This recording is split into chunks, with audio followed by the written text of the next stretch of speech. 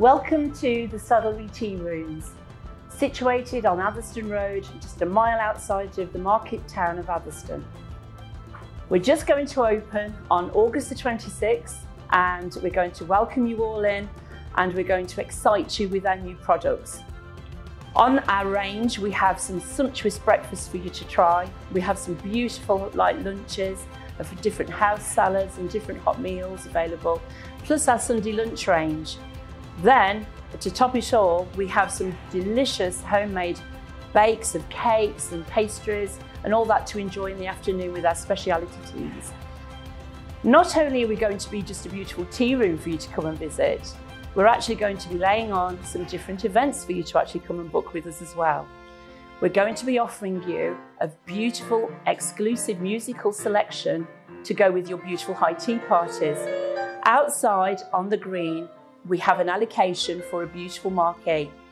And in this marquee, it's going to be a home for uh, celebrations, for christenings, funerals, weddings, and other whatever activities you want to come and celebrate with us. We are going to be licensed too. So if you'd like to get in touch with us, all the relevant information is going to be on the bottom of this page. And it is really going to be a very, very exclusive hub for historical value too, not forgetting our historical packages, plus our highly nice selection of art classes that's going to be coming this way. So look out on our website and on our Facebook page for all the, the coming packages that we're putting together for you. And we'll welcome you in very, very warmly. Thank you.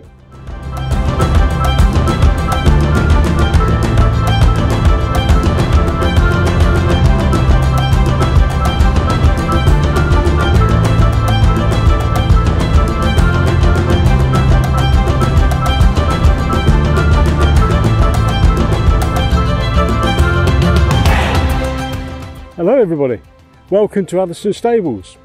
I'm going to be working in conjunction with the saddlery to put on guided walks, guided cycle rides and talks around this area. I've got 18 years of experience in doing tour guides and the area that you are in now has so much history dating back to Roman times, conflicts in the English Civil War, Wars of the Roses battlefields, the Second World War, Industrial Revolution, and even a famous highwayman. All of the activities I do are based on it being fun, friendly, and informative, but most importantly, safe and enjoyable. If you're interested in doing a cycle ride, I also do cycle ride routes around this area, slightly wider than the walking routes most of them using the Sustrans National Cycle Network. We will, of course, visit different cafes, pubs, restaurants and refreshment places en route to or from or on our return.